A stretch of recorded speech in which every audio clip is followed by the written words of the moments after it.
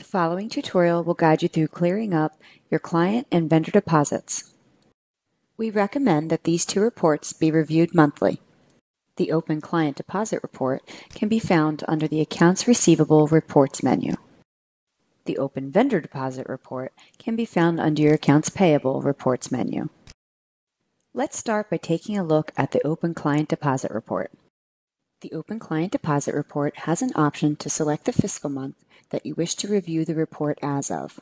You can view the report for the client or project range or leave them blank so that you can see all.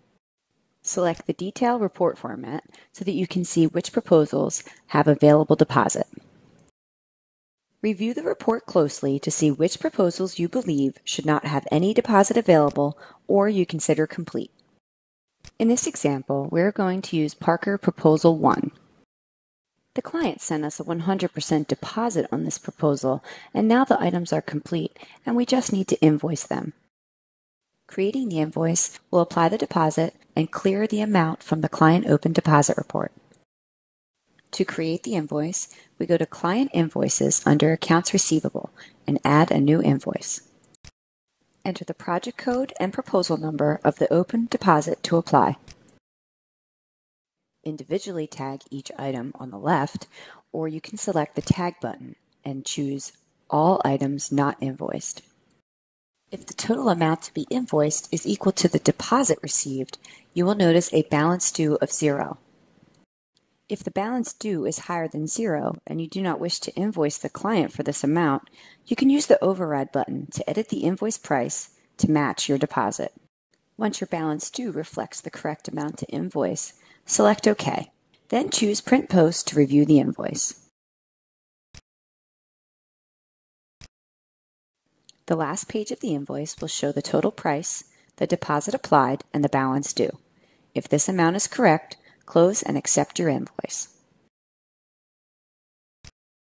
Continue making new invoices for each project that has an open deposit you wish to apply. When you are finished, you can rerun the Open Client Deposit Report. The report will now no longer show those open deposits the client deposit account will be reduced and the revenue accounts increased. This concludes the clearing of the open client deposits. If you wish to see how to clear the open vendor deposits, please continue the video. Let's take a look at our open vendor deposit report, which is under the Accounts Payable Report section. This report also has an option to select the fiscal month that you wish to review the report as of. You may also enter a client or a project range or leave them blank to see all.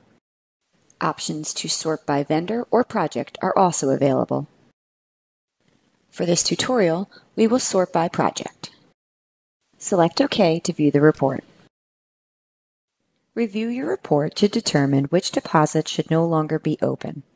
In this tutorial, we will work with purchase order number 7 for the Carter Pennington Home Project. To close out the vendor deposit, we will need to generate a vendor invoice for the purchase order. To do this, we go to Bills and Invoices under the Accounts Payable menu. Select Add, then select the invoice for project purchase order type. Enter the purchase order number. Enter the vendor invoice date that you wish to close the open deposit as of. Enter a vendor invoice number if supplied or use the date as your invoice number. Optionally enter a transaction description. If the total cost in the vendor invoice is equal to the deposit outstanding, the amount due will be zero. Select OK and post your vendor invoice.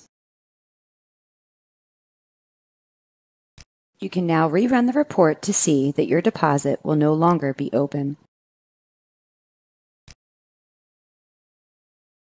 Now let's take a look at purchase order number 5 for the Carter Pennington Home Project.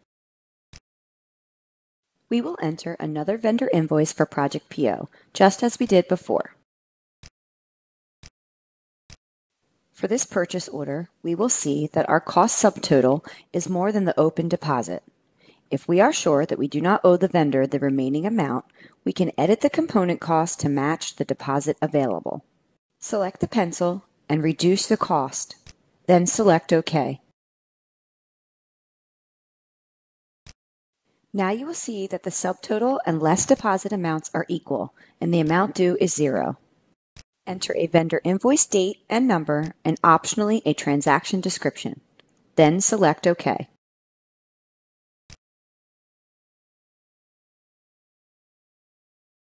Post your vendor invoice and then you can once again rerun the Open Vendor Deposit Report to see that this deposit is no longer outstanding.